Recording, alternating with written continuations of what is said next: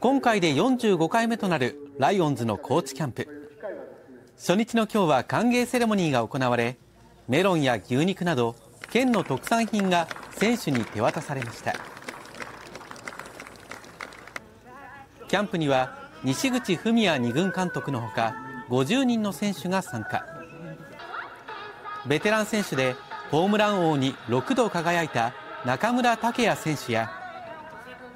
明徳義塾高校出身の岸潤一郎選手らが柔軟体操で体を温めていました。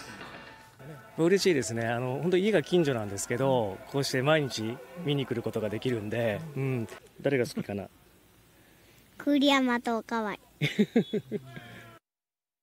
またここに帰ってこれたなっていう気持ちでいっぱいです。ここから一人の選手多くの選手をねやっぱり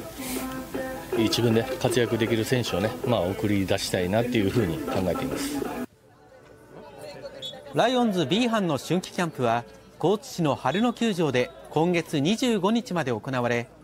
23日には台湾のプロ野球チーム統一ライオンズとの練習試合も予定されています。